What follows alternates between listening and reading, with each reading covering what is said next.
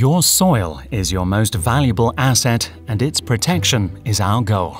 Economic reasons often force farmers to intensively cultivate their land, which can in turn impair the productivity of the soil. For this reason, we have developed TerraLife cover crop mixtures.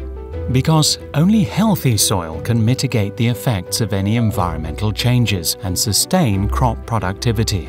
Every TerraLife mixture contains a composition of at least five different crops. Unlike cover crops that are based on one crop only, mixed crops root in different soil layers and thus tap into different nutrients. How to increase soil health and yield with intercrop mixtures is one of the main areas of research at the DSV Plant Breeding Center in Asendorf, Deutsche Saatveredelung is a partner in the joint project CATCHY, which is researching yield improvement using catch crops. CATCHY is part of the initiative Bonares, Soil as a Sustainable Resource.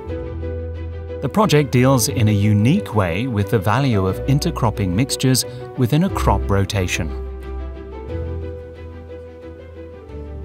Wir bereiten das für die Aussaat vor, wiegen das für jede einzelne Parzelle ab und liefern das dann ähm, unseren Projektpartnern. In Triesdorf steht parallel nochmal genau der gleiche Versuch.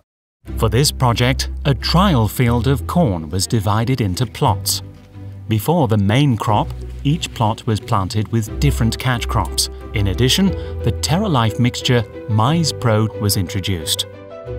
Ja, wir haben ja erste konkrete Ergebnisse erzielt und genau es zeigt sich, dass Mischungen dann deutliche Vorteile gegenüber den ähm, Reinsaaten an Zwischenfrüchten und vor allen Dingen gegenüber der Brache haben.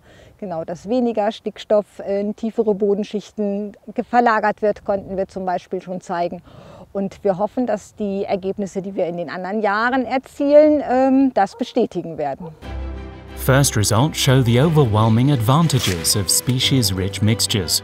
The TerraLife Pro mixture delivered 20 kilograms more nitrogen and 2.5 kilograms more phosphorus per hectare compared to mustard or single mixtures. Microbial activity is an important indicator of soil fertility. It grows with increasing species diversity and is highest in the most species-rich mixture. This is in part due to the competition between different root systems and the interplay of the crops with each other. The CATCHY project will run for another five years. In the near future, many more results are expected, which will provide new insights and data via the black box of soil microbes and provide valuable information for practical use.